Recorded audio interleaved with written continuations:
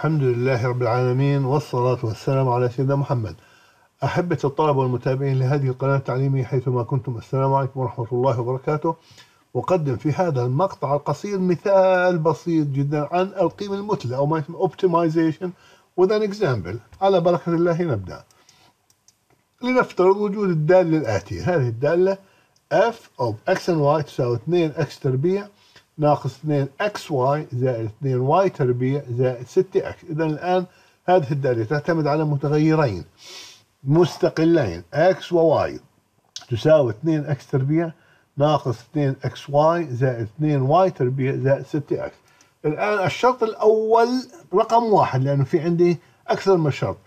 حساب المشتقة الجزئية الأولى بالنسبة للمتغير الأول مساواتها بالصفر. إذا الآن يعني نحسب المشتقة الجزئية الأولى بالنسبة للمتغير الأول وهو x ونساويها بالصفر إذا الآن f هاي الرمز يعني الذي نستخدمه الآن f صب x وبكسر y تساوي 4 الآن هاي 2 في 2 يساوي 4 تصبح الآن 4 سالب الآن تذهب هذه x فيبقى سالب 2 y. زائد الآن هذه تذهب صفر.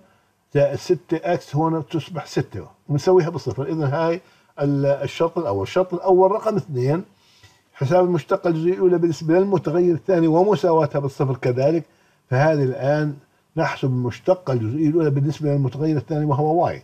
ف f sub y لا x y تساوي. الآن سالب 2 x لأن هذه تذهب صفر. طبعا هنا صفر. لأن نشتق هذه بالنسبة ل y فهذه تذهب صفر.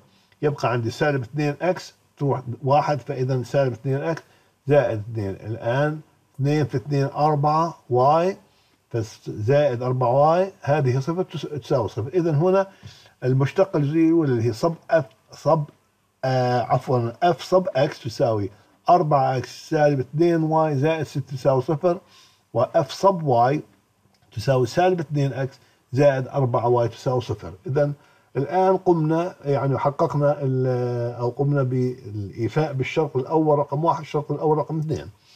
الآن آخر نتيجة كانت كما يلي هذه المعادلة الأولى هذه المعادلة الثانية اللي هي المشتقة الجزئية الأولى بالنسبة للمتغير الأول المشتقة الجزئية الأولى بالنسبة للمتغير الثاني. لدينا معادلتان آنيتان. الآن نقوم بإيجاد القيمتين الحرجتين critical values اللتين تجعلان الدالة تصل إلى نهاية. أو نهاية عظمى أو صورة لا ندري. أو نقطة سرج أو لا شيء مما وكلا يمكن لا شيء مما ذكر أي لا شيء لا شيء يمكن تحديده. فالآن نقوم بالحل من المعادلة الثانية. هذه المعادلة الثانية لاحظوا لي سالب 2 x زائد 4 y تساوي صفر. هذا يعني 4 y تساوي 2 x. هذا يعني إنه x تساوي 2 y. لاحظوا لي 2 y. بتعويض قيمة x تساوي 2 y في المعادلة رقم واحد نحصل على ما يلي. سبحان الله الآن أربعة اللي هي هذه المعادلة رقم واحد 4 y سالب 2 آه عفوا 4 سالب 2 y. زائد 6 يساوي صفر.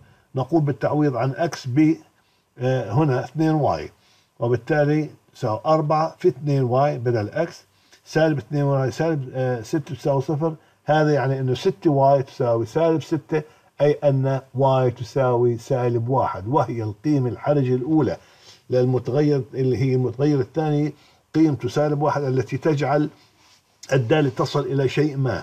الآن آخر نتيجة بتعويض الآن هذه القيمة في ماذا؟ في x تساوي 2y هنا okay؟ بتعويض قيمة y هذه في x تساوي 2y نحصل على x تساوي 2 في سالب 1 وتساوي سالب 2 إذا الآن القيمتان الحرجتان اللتين تجعلان الدالة تصل إلى نهاية آه، أو أي شيء الآن سنتأكد من هي ما هي ما هي النهاية أو نقطة السالب أو ربما نقطة انقلاب فهما القيمتان x تساوي سالب 2 و y تساوي سالب تساوي سالب 1 الشرط الثاني الآن نقوم بحساب المشتقة الجزئية الثانية بالنسبة لكل متغير ونختبر إشارة كل مشتقة الآن لاحظوا لي هنا f sub x كانت هكذا.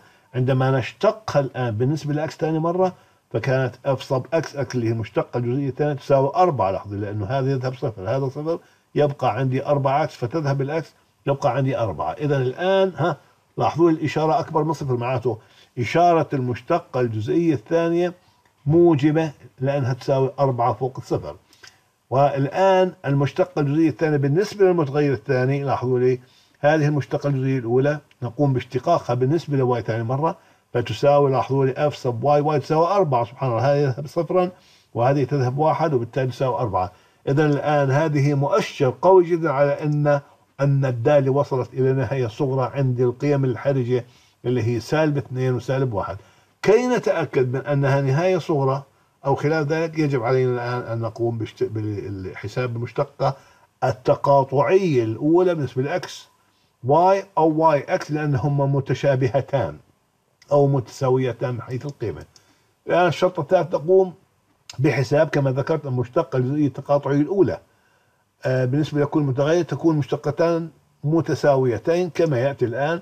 f sub x الآن نشتقها هذه بالنسبة ل y ونشتق هذه بالنسبة ل هي بالنسبة ل y الآن فتساوي سالب 2 ثم الآن f sub y هذه الأولى نشتقها بالنسبة ل x تساوي سالب 2 بما أنها أقل من صفر أقل من صفر الآن يجب أن تكون هذا الشرط الأخير. حاصل ضرب الآن. المشتقة الجزئية الثانية بالنسبة للمتغير الأول مضروبة في المشتقة الجزئية الثانية بالنسبة للمتغير الثاني يجب أن تكون أكبر من مربع يعني هذه أو هذه لأنهم متشابهتان.